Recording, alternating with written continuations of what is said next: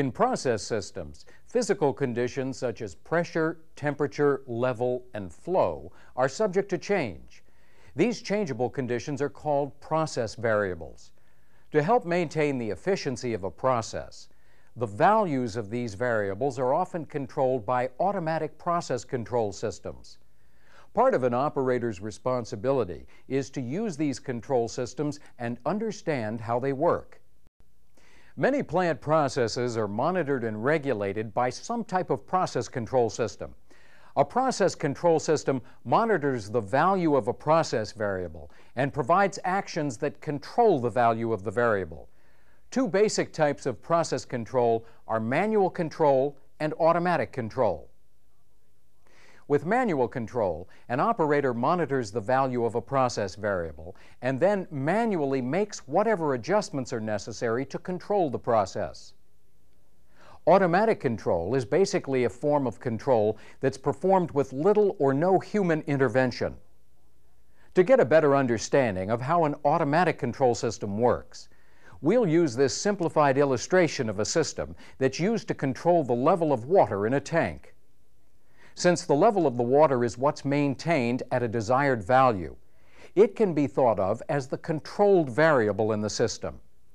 It can also be thought of as the measured variable because the control system uses it as a basis for making operating changes. The level of the water will remain constant as long as the flow of water into the tank equals the flow of water out of the tank. In this system, the water level is controlled by regulating the flow of water into the tank. For that reason, the flow of water into the tank is called the manipulated variable. As with all automatic control systems, this system has four basic parts or elements. One element, the primary element, is a sensing device that's located where the process variable is monitored. In this system, the primary element is a float that senses the level of water in the tank.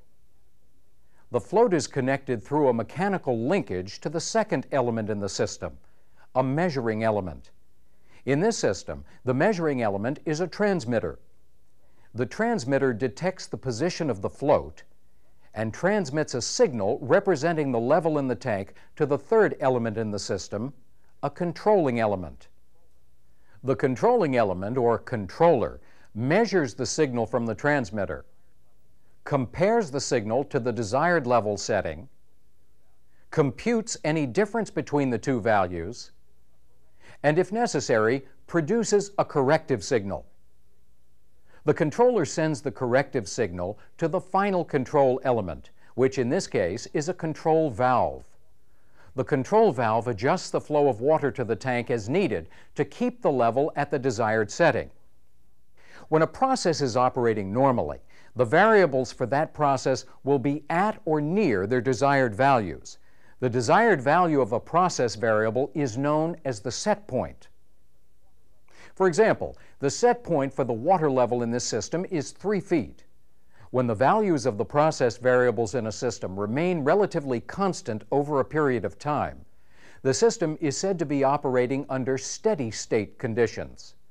Most control systems will allow slight variations in the values of process variables. But if the value of a variable changes significantly from its set point, corrective action may be needed to return the process to its original operating conditions.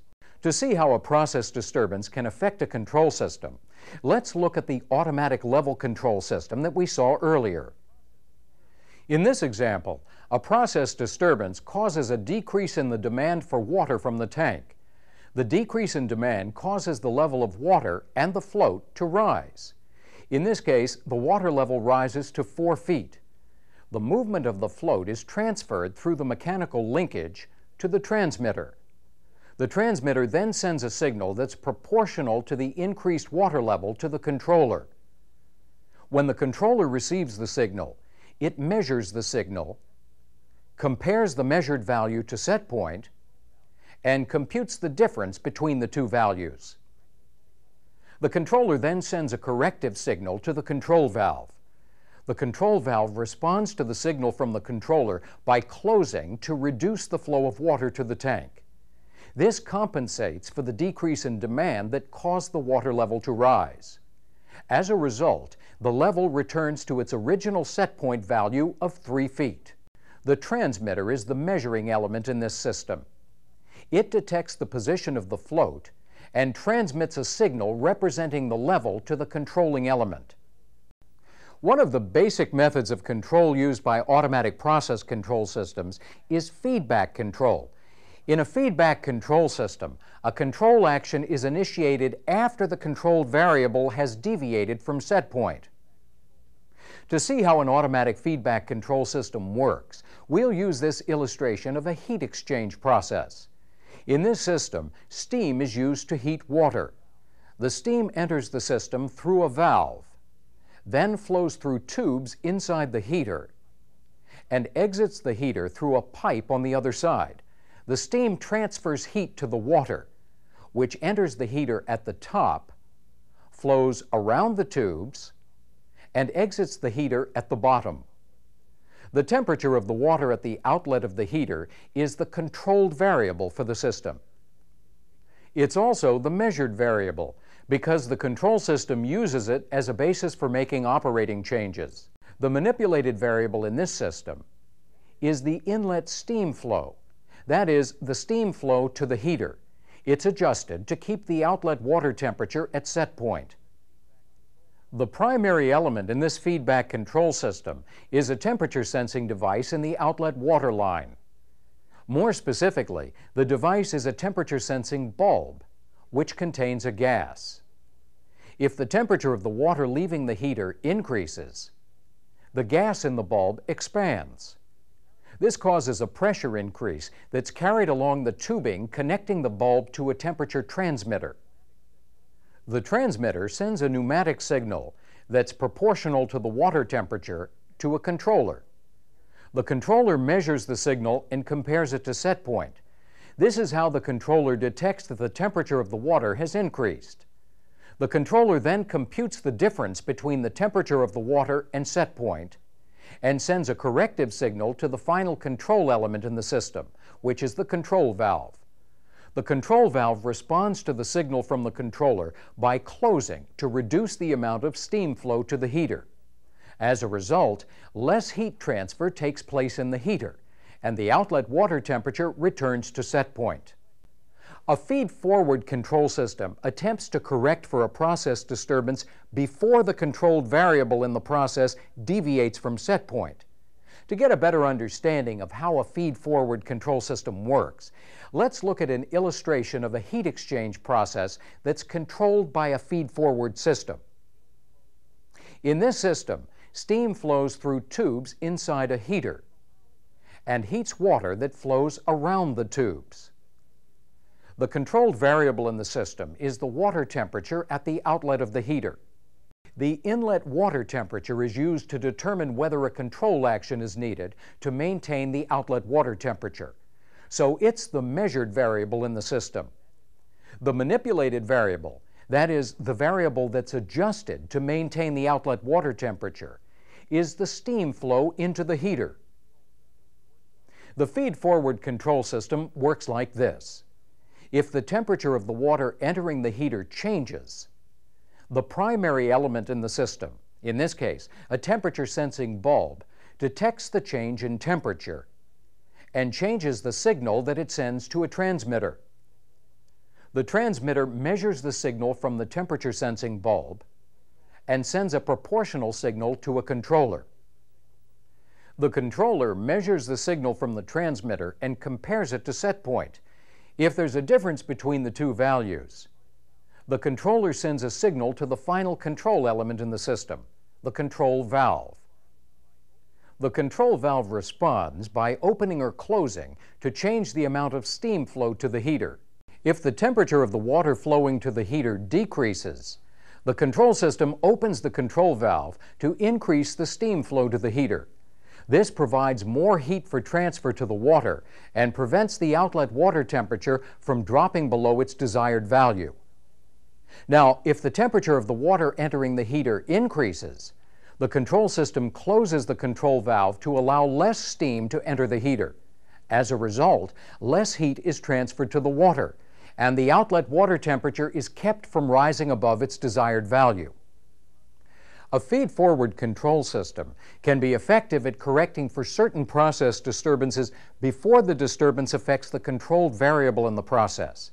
However, there are many possible disturbances in a process, and a typical feed-forward control system may not be able to respond to every one of them. For example, the feed-forward control system that we just looked at responds only to changes in the temperature of the water entering the heater. Other disturbances, such as a change in the pressure or temperature of the steam entering the heater, can also affect the outlet water temperature. But those disturbances will go unnoticed by the feed-forward control system.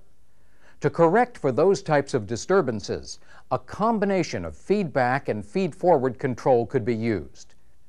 With combined control, the feed-forward part of the system responds to changes in the inlet water temperature while the feedback part responds to changes in the outlet water temperature caused by other disturbances. By combining the features of feedback and feed-forward control, greater control over disturbances upstream of the process and within the process can be attained. In this topic, we saw how the four elements of an automatic control system work together to control a process, and how a control system responds to a process disturbance. We also saw how feedback control, feed-forward control, and a combination of the two methods work to control a process. Now let's try some practice questions related to this material. Right.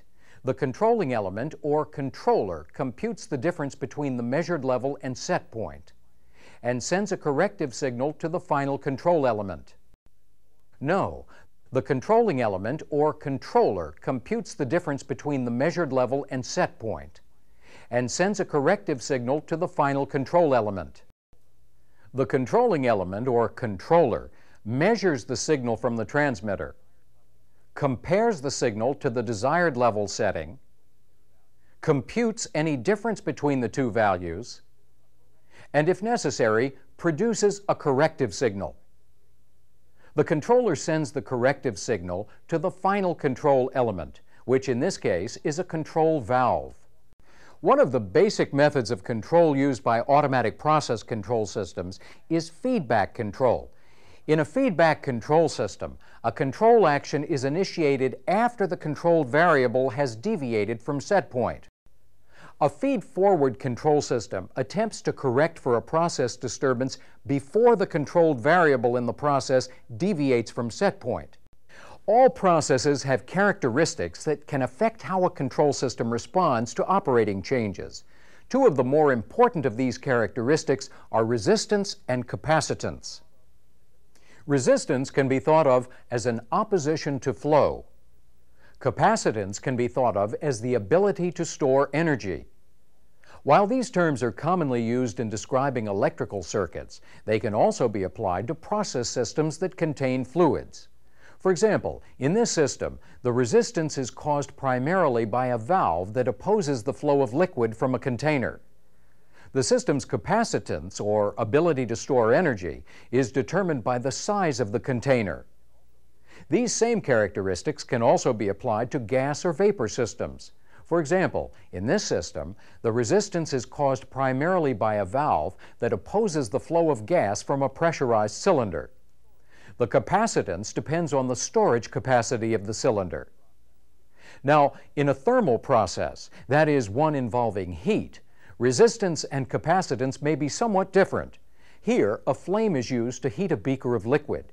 In this arrangement, the wall of the beaker represents the resistance, since it resists the transfer of heat from the flame to the liquid. The amount of heat or thermal energy that the liquid is able to store represents the capacitance of the system.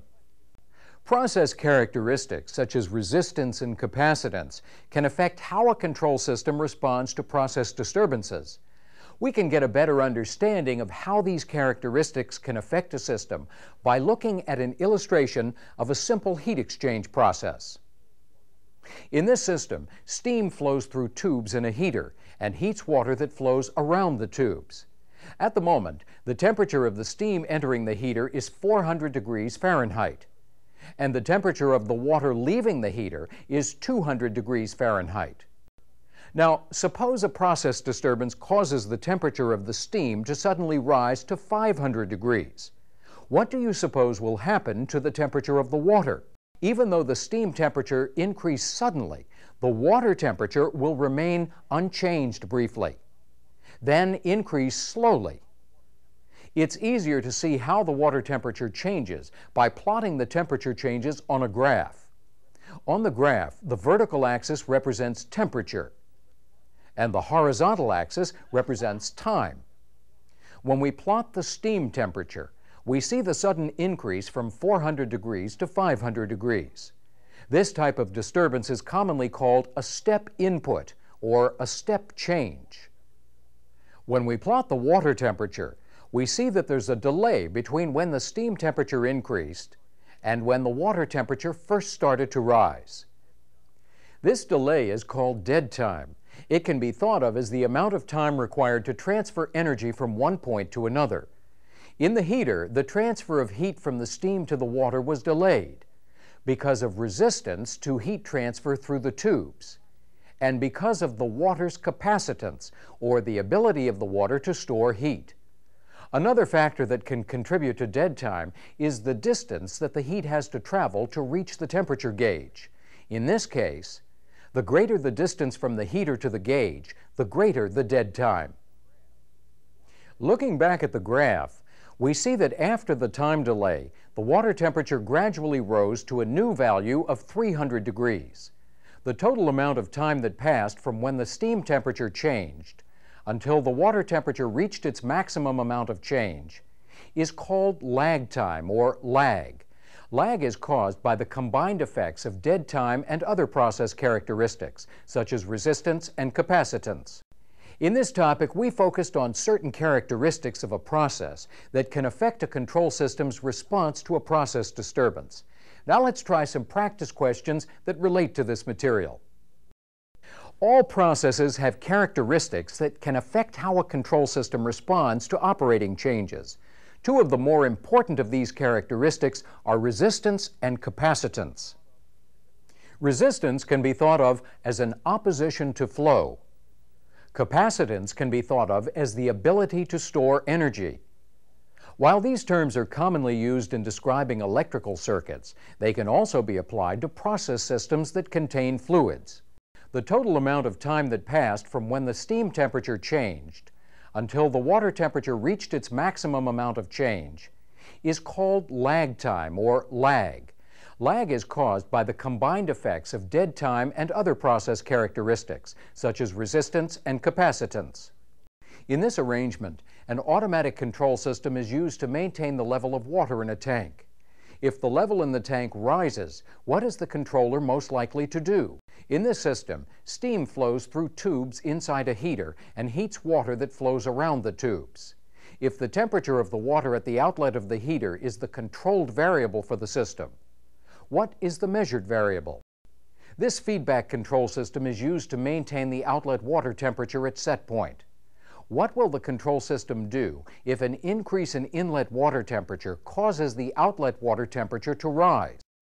This feed-forward control system is used to maintain the temperature of the water flowing out of a heater. Based on the configuration of the system, what variable is measured to determine whether a control action is necessary? This feed-forward control system is used to maintain the temperature of the water flowing out of a heater. What will the control system do if the temperature of the water entering the heater decreases? In this process, the temperature of the water leaving the heater is controlled by a combined feedback and feed-forward control system. What is most likely to happen if there is an increase in the temperature of the water entering the heater? In this example of heat transfer, a flame is used to heat a beaker of liquid. In this heat exchanger, steam flows through tubes and heats water that flows around the tubes. If the temperature of the steam entering the heater suddenly increases, what will happen to the temperature of the water leaving the heater? In this system, steam flows through tubes inside a heater and heats water that flows around the tubes. If the temperature of the water at the outlet of the heater is the controlled variable for the system, what is the manipulated variable? This feed-forward control system is used to maintain the temperature of the water flowing out of a heater. Based on the configuration of the system, what variable is adjusted to keep the outlet water temperature at set point? This feed-forward control system is used to maintain the temperature of the water flowing out of a heater. What will the control system do if the temperature of the steam entering the heater decreases? In this process, the temperature of the water leaving the heater is controlled by a combined feed-back and feed-forward control system. What is most likely to happen if there is an increase in the temperature of the steam entering the heater? In this example of heat transfer, a flame is used to heat a beaker of liquid.